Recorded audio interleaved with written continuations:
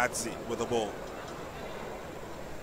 Sets up a pass to Accra Olympics, keeping the ball to themselves, and that's good enough. A strong run there from Akese. Sets up the pass, and that is the opening goal of the season.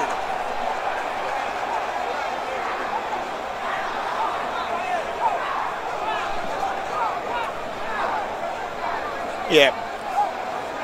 Emmanuel Akese off the bench to make an instant impact. What a huge impact. But question marks about if the eventual goal scorer Samuel Quaye was in an offside position. Only time will tell. But take absolutely nothing away from Emmanuel Akese.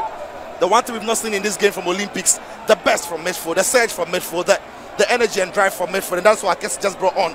Look at him as he gets involved with the build-up. Carries the ball all by himself. Drives at the heart of that defense of Bechem sends a cut back. And yeah, I think Samuel Quaye is good. There's no offside. But again, we'll see that again. It's interesting to see the position of the goalkeeper and the defender. If another angle can tell a better story because if the goalkeeper then becomes the last man and the defender was in behind the goalkeeper, then that potentially then that could potential, be an offside. Yeah.